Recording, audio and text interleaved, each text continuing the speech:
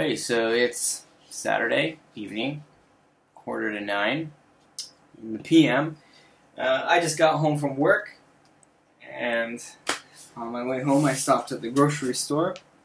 I found some of this unagi cola.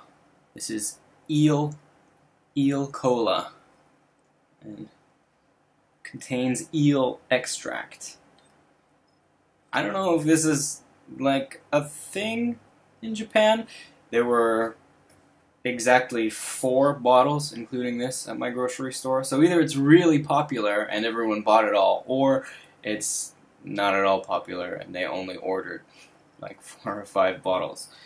But I thought I'd try it and film it for all four of my friends to watch on the internet.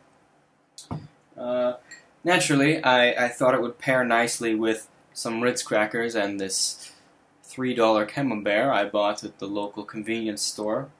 So, yeah. Eel, in general, please don't explode. Eel is like a summer food in Japan, kind of luxury. I guess it's supposed to like cool you down or something. People eat it with rice and stuff usually, some kind of special spice. But uh, as a drink, I don't know. It's really expensive too, eel. Like a a fillet, is that what you call it, of eel, is like twenty dollars sometimes. It's fizzy. smells like cola, kind of like. Actually, you know what? It smells like brio. If you've ever had brio. All right. Cheers.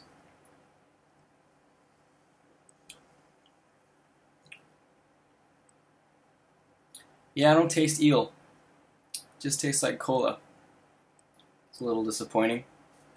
I wonder if there's like extra strength unagi cola, extra strength eel, or cherry eel cola. I don't know. I'd drink it on a hot day. I guess.